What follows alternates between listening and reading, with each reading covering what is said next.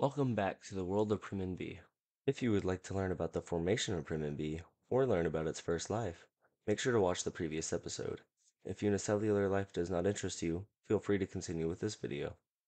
Today, we will explore the introduction of multicellular life and how it evolved into different body plans over a 115 million year period. Last episode, we introduced the colonial Tenax Malia. Some clades of Tenax Malia became increasingly dependent on communicating and sharing nutrients with each other.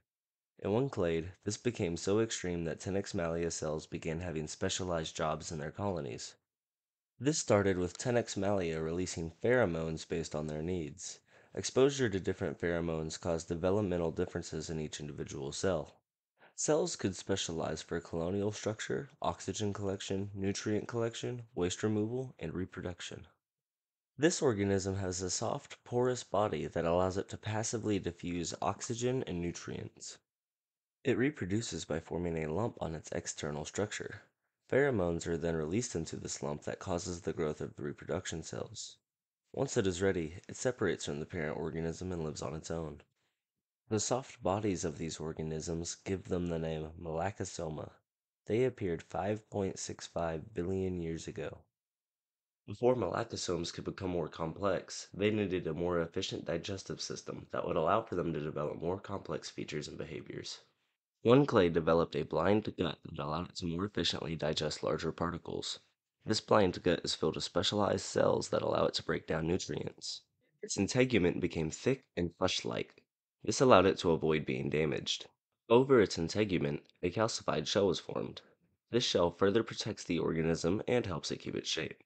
In order to collect as much food as possible, this organism developed long, fleshy tendrils from its dorsal side that wave water into its mouth. These tendrils are controlled by muscle-like tissues in the base of the organism. These tissues involuntarily expand and contract, causing the tendrils to move. To reproduce, the reproductive cells that were previously made by this organism became specialized unisex gametes. These gametes are produced and released from a gonad-like organ at the entrance of this organism's mouth. When any two gametes meet, they produce a larva that remains suspended in the ocean current until it grows large enough to sink to the ocean floor. This more effective feeder is called Dorsastoma, and it appeared 5.6 billion years ago. So far, all multicellular organisms have been sessile, meaning they are unable to move on their own. After billions of years of living things dying, ocean floor became covered in a layer of dead organic matter called detritus. One lineage of dorsastomes evolved to take advantage of this food source by having two mouths on its underside rather than one dorsal mouth. Instead of being completely encapsulated in its shell, this clade shell only covers its dorsal surface. Like its cousins, this clade has muscle-like fibers. This clade, however, uses these muscular tissues to undulate their underside allowing them to drag themselves across the ocean floor, similar to the molluscan foot. It reproduces by detecting pheromones released by potential mates. When potential mates are found, they raise their mouths off the ground and excrete gametes from them. In the event that it cannot find any mates, this organism can reproduce asexually, much like planarians on Earth. This motile organism is called diastoma, and it appeared 5.58 billion years ago. On Earth, a phenomenon called neoteny has occurred in many different clades. Neoteny is an evolutionary mechanism where mature organisms retain traits from their younger forms. One example of this is how axolotls have gills their whole lives, unlike other salamanders that lose them as they mature. On Primin B, this happened in dorsastomes when one clade retained their larval form for their entire lives.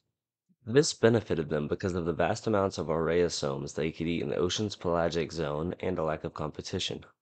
They monopolized this by increasing in size, which allows them to eat more until they reach a size that balances how much they eat and the required amount of energy to function. In order to remain floating their entire lives, this organism became composed of thinner, less dense tissues. These organisms have little motor control, only being able to use its arms to scoop microbes and aureosomes into its mouth. Consuming large amounts of aureosomes gives some of these organisms an orange color. Their gonad develops early in their lives, which allows them to release their gametes into the water while remaining suspended. Due to a lack of predators and being able to reproduce by the thousands, this organism will exist in large, densely packed populations. These pelagic filter feeders are called polybrachyds for their many arms, and they appeared 5.56 billion years ago. As populations of polybrachyds began to climb, aureosomes that are able to avoid getting eaten have an advantage. Like Tenexmalia, one clade of aureosomes developed a biological adhesive that allowed cells to stick together. This clade of aureosomes makes clumps large enough so that they can no longer fit in polybrachyds' mouths. However, this makes them become dense enough to sink to the sea floor. Even though there is less polybrachyd activity on the sea floor, dorsastomes and diastomes could feed on this clade. In response to this, these aureosome colonies grew even larger and developed more organized structures. Some cells specialize to become an upright stalk that holds the larger organism to the substrate. Coming from two sides of the stalk are surfaces meant specifically for photosynthesis. This organism looks like a plant, but since it does not share taxonomy with earth plants, it is technically something else. For purposes of simplicity, though, members of this clade may be called plants. This clade of multicellular aureosomes is called Aureostipula. It appeared 5.55 billion years ago. Even though Aureostipula evolved to avoid being eaten, one clade of diastomes adapted to make it their primary food source. This clade's mouth parts are raised to its anterior face so that it can reach Aureostipula, but only eating specific foods is difficult unless the organism can sense it. To identify food, this clade developed a simple eye. This eye started as a patch of photosensitive cells that could detect changes in light levels. Over time, this eye became more complex, the patch of cells eventually formed a cup shape that allowed the detection of light from multiple directions. This cup later developed a spherical layer of tissue and cone-like cells that could distinguish colors. These cones have two varieties. One can detect red light while the other can detect blue light. This allows them to see the orange Aureostipula through the background of the blue ocean. To process this visual information, this organism developed a clump of nerve-like cells that act as a simple brain. On Earth, organisms usually evolve for their brain, sensory organs, and mouths to be at the front of the body in a process called cephalization. This organism will also experience cephalization. At first, their digestive system acts like those of their diastome ancestors. This began to change as mutations caused them to favor one mouth for ingestion of food and the other for the excretion of waste. The mouth that ingested more food became more rigid and gained a slightly rough texture. Rubbing this mouth on the surface of its food allowed the organism to masticate the food before eating it. The position of its mouths also changed.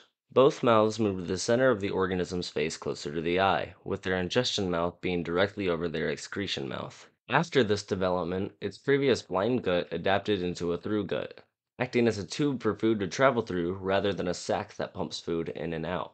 This more efficient form of digestion allowed this clade to grow larger but their size is limited by their ability to passively diffuse oxygen from the water. To solve this, this clade developed tissues along the underside of their shells which are specialized to draw oxygen from the water. The oxygen collected by this tissue is diffused into a body cavity that circulates fluids. This cavity is called a hemocoel, and it exists in earth arthropods. Inside of this hemocoel is red iron-based blood. With blood, this organism is able to efficiently transport oxygen and nutrients, allowing it to grow larger and more complex. Since this organism can now see its potential mates, broadcast spawning became an obsolete form of reproduction. Instead, this clade developed a ring-like organ in their excretory mouth that acts as a gonad where gametes are produced. When this organism finds a mate, they act in a cloacal kiss to exchange gametes. When these two gametes meet, they form a membranous sac where offspring develop. Since this organism is now so complex, it lost the ability to reproduce asexually. This complex organism is called Tubustoma, and it appeared 5.54 billion years ago. As tubustomes continued to spread and evolve, some of them began to find nutrients from different food sources. One clade with rougher mouthparts allowed it to masticate tougher foods, such as dorsastomes. This clade continued to invest more into carnivory like this, beginning to eat falling dorsastome larvae. By undulating its foot vertically, this organism was able to swim slightly above the ocean floor where it could feed on more low-swimming dorsastome larvae. Its heavy shell, however, made the organism too heavy to remain swimming for long periods of time. Since there are no present predators or extreme environmental hazards, losing the shell became beneficial for the organism. Without its shell, the organism can swim for longer periods of time. Natural selection continued to select for better swimmers that can more effectively hunt.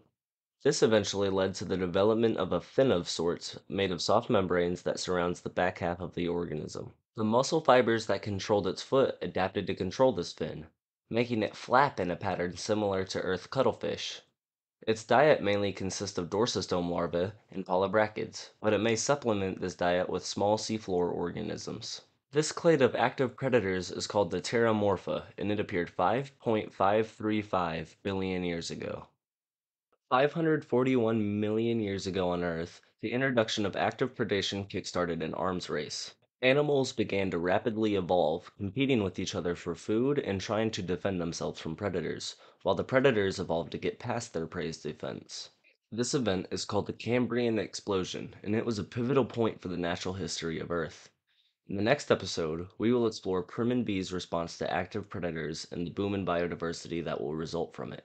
If you would like to further explore Primin B or talk about its life, join our Discord server in the description below. On our Discord server, you can talk about the Primin universe as well as get looks at future organisms, make art, get updates on video progress, and even help make decisions about Primin B's organisms.